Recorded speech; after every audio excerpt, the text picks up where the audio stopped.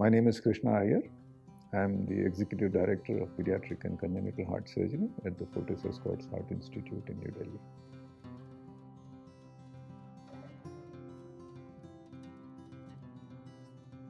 When we say congenital heart defect, it essentially means that uh, defects of the heart which are formed in the process of the formation of the heart. So the child is essentially born with a heart which is not formed normally.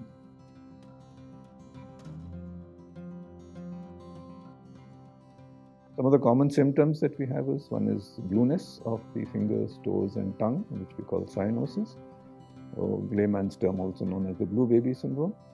So these children basically have less oxygen in the blood going to the body, and that shows up as blueness in the various structures, especially what is visible.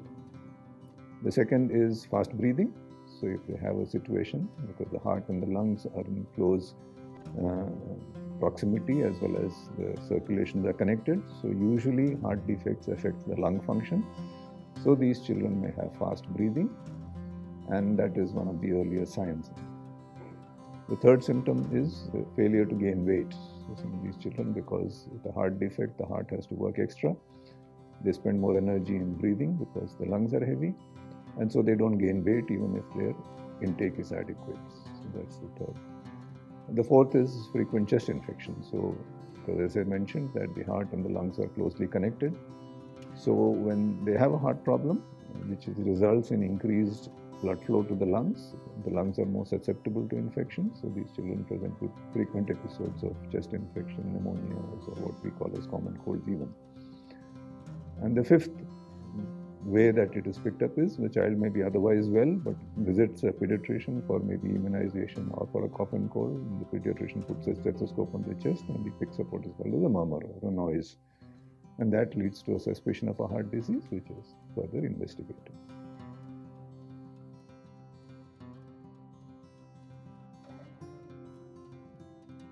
There is no specific cause known. By and large, we say it's a chance occurrence.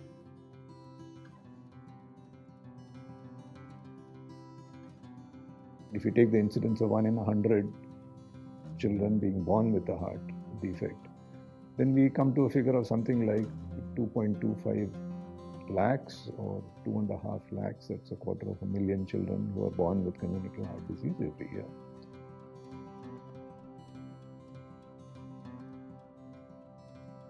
So it has a very major health impact because A, uh, congenital heart disease doesn't cure itself.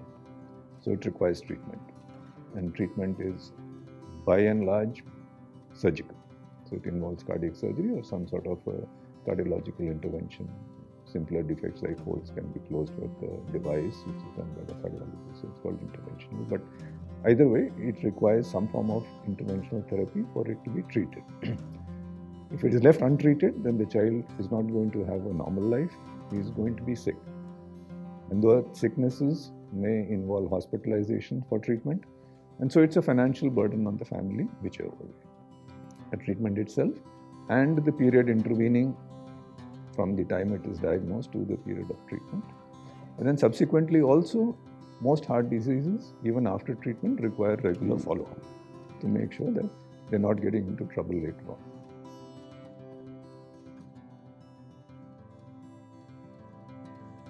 But as I mentioned, simple things like avoidance of alcohol, avoidance of certain specified drugs, like for example anti-epileptic drugs and things during pregnancy, then that can reduce that particular small subset of patients. But for the vast majority, since we don't know why it occurs and we assume that it's a chance occurrence, it's very difficult to prevent.